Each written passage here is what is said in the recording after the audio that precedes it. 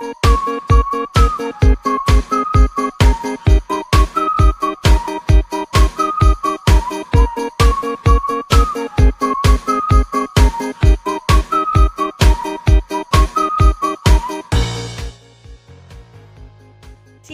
ketemu lagi dari dapur Manda. Sekarang saya mau membuat es krim dari bahan-bahan ini aja.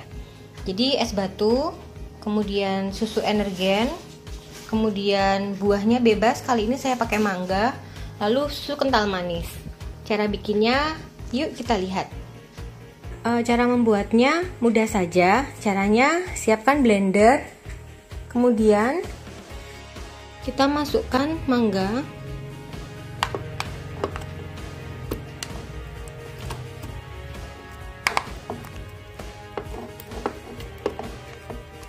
bebas mau stroberi, mau jeruk, mau jambu.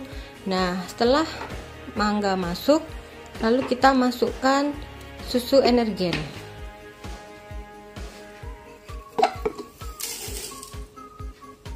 Lalu kita masukkan susu kental manis.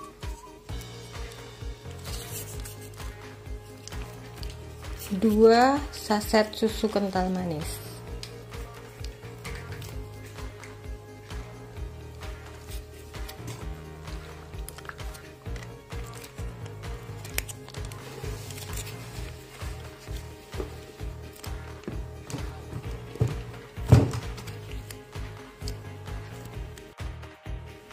Lalu kita tambahkan gula secukupnya.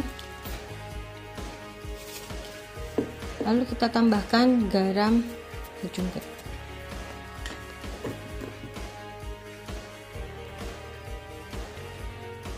lalu kita masukkan es batunya.